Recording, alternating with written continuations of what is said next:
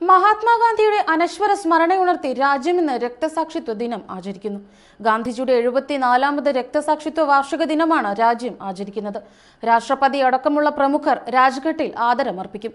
രാജ്യത്ത് പകൽ പതിനൊന്നിന് രണ്ടു മിനിറ്റ് മൗനം ആചരിക്കണമെന്ന് ആഭ്യന്തര മന്ത്രാലയം സംസ്ഥാന സർക്കാരുകളോട് നിർദ്ദേശിച്ചിട്ടുണ്ട്. അതേസമയം മുഖ്യമന്ത്രി പിണറായി വിജയൻ ഉൾപ്പെടെയുള്ളവർ ഗാന്ധി അനുസ്മരണ സന്ദേശം നേർന്ന് രംഗത്തെത്തി. ഗാന്ധിയെ കൊല ചെയ്ത അതേ വർഗീയ പ്രത്യയശാസ്ത്രം രാജ്യത്തിന്റെ ഏറ്റവും വലിയ ഭീഷണിയായി മാറിയിരിക്കുന്നുവെന്ന് പിണറായി വിജയൻ പ്രസ്താവനയിൽ വ്യക്തമാക്കി. ഇന്ന് വർഗീയ ഭീകരവാദത്തിന്റെ വെടിയേറ്റ് മഹാത്മാഗാന്ധി കൊല്ലപ്പെട്ട ദിനം. വർഗീയ കലാപങ്ങൾക്കും വിദ്വേഷ രാഷ്ട്രീയത്തിനുമെതിരെ സമാധാനത്തിന്റെയും മാനവികതയുടെയും പ്രതിരോധമുയർത്തിയതിന് ഗാന്ധിക്ക് നൽകേണ്ടി വന്ന വില സ്വന്തം ജീവനാണ്. അഗാധമായ മനുഷ്യസ്നേഹത്തിന്റെ ജ്വലിക്കുന്ന ഓർമ്മകളാണ് ഈ രക്തസാക്ഷി ദിനത്തിൽ നമ്മുടെ ഹൃദയങ്ങളിൽ തുടിക്കേണ്ടതെന്നും പിണറായി വിജയൻ കുറിച്ചു.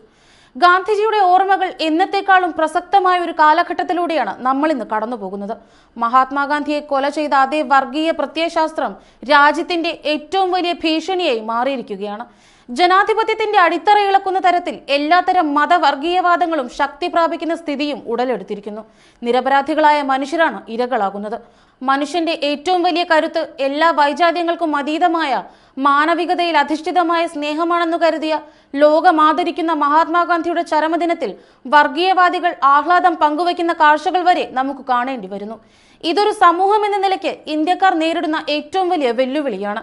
ആ വെല്ലുവിളി ഏറ്റവും ഉറച്ച രാഷ്ട്രീയ ബോധ്യത്തോടെ നമ്മൾ ഏറ്റെടുത്തേ മതിയാകൂ.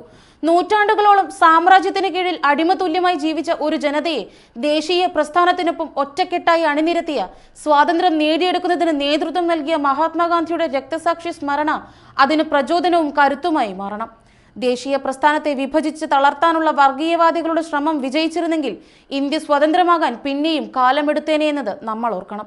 അതുകൊണ്ട് നാടിന്റെ നന്മയ്ക്കും പുരോഗതിക്കുമായി മാനവികതയും സാഹോദര്യവും ഉയർത്തിപ്പിടിച്ച് പോരാടുമെന്ന് പ്രതിജ്ഞ ചെയ്യാം. മഹാത്മാഗാന്ധിയുടെ സ്മരണകൾക്ക് മുന്നിൽ അഭിവാദ്യങ്ങൾ അർപ്പിക്കാം. മുഖ്യമന്ത്രി പിണറായി വിജയൻ ഫേസ്ബുക്കിൽ കുറിച്ചു. സൂര്യൻ അസ്തമിക്കാത്ത ബ്രിട്ടീഷ് സാമ്രാജ്യത്തിന്റെ ആധിപത്യം അവസാനിപ്പിച്ചുകൊണ്ട് ജനാധിപത്യ ധ്വംസനത്തിന്റെയും കൊളോണിയൽ ഭരണത്തിന്റെയും മരണമണി മുഴക്കിക്കൊണ്ട് ഇന്ത്യ എന്ന രാജ്യത്തെ സ്വാതന്ത്ര്യത്തിന്റെ പൊൻപുലരയിലേക്ക് നയിക്കാൻ മുന്നിൽ നിന്നത് മഹാത്മാഗാന്ധിയാണെന്നായിരുന്നു K P C C president K Sudhakaran തന്റെ സന്ദേശത്തിൽ വ്യക്തമാക്കിയത്.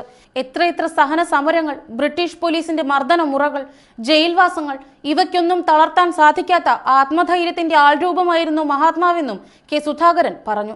ഒടുവിൽ പൊരുതി നേടിയ രാജ്യത്തിന്റെ സ്വാതന്ത്ര്യം ആഘോഷിക്കുന്ന ദിവസം പോലും അദ്ദേഹം അങ്ങ് ദൂരെ കൊൽക്കത്തയിലെ ബലിയഘട്ടിൽ ഹിന്ദു മുസ്ലിം ലഹളകളും വിഭജനവും ഉണ്ടാക്കിയ മുറിപ്പാടുകൾ ഉണക്കുകയായിരുന്നു.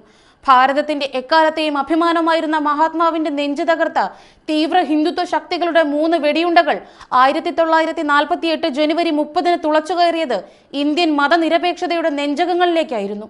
സംഘപരിവാർ ശക്തികൾ വർഗീയതയുടെ വിഷവിത്തുകൾ പാകി വിളവെടുപ്പ് നടത്തി തുടങ്ങുന്നതും അവിടെ നിന്നുമാണ്. ഗാന്ധിജിയുടെ രക്തസാക്ഷിത്വത്തിന് ശേഷമുള്ള ആറു പതിറ്റാണ്ടും അദ്ദേഹത്തിന്റെ ഇന്ത്യ എല്ലാ ജനവിഭാഗങ്ങളെയും ഉൾക്കൊണ്ട് വികസനപാതയിൽ മുന്നോട്ട് കുതിക്കുകയായിരുന്നു. എന്നാൽ ഇന്ത്യയെയും പാകിസ്ഥാനെ പോലൊരു മതരാഷ്ട്രമാക്കുക എന്ന അജണ്ടയിൽ പ്രവർത്തിക്കുന്ന തീവ്ര മതവാദികൾ ഇന്ന് ഭരണകൂടത്തിൽ സ്ഥാനം പിടിച്ചിരിക്കുന്നു. ഗാന്ധിയുടെ ഓർമ്മകളെ ഇല്ലാതാക്കുവാൻ ഗാന്ധി ഘാതകർ ഇറങ്ങിയിരിക്കുന്ന കാലം. ഗാന്ധിയുടെ കൊലയാളിക്ക് അമ്പലം പണിയുന്ന സംഘപരിവാറല്ല. രാജ്യത്തിന് സ്വാതന്ത്ര്യം നേടിത്തന്ന മഹത്തായ പ്രസ്ഥാനമായ ഇന്ത്യൻ നാഷണൽ കോൺഗ്രസ് ആണ് രാഷ്ട്ര പുരോഗതിക്കും മതനിരപേക്ഷയുടെ ഇന്ത്യയുടെ വീണ്ടെടുപ്പിനും ഈ മഹാരാജ്യത്തിന് ആവശ്യമെന്ന് ഗാന്ധിജിയുടെ രക്തസാക്ഷിത്വത്തിനും നമ്മെ ഓർമ്മിപ്പിക്കുന്നുവെന്നും കെ സുധാകരൻ കൂട്ടിച്ചേർത്തു.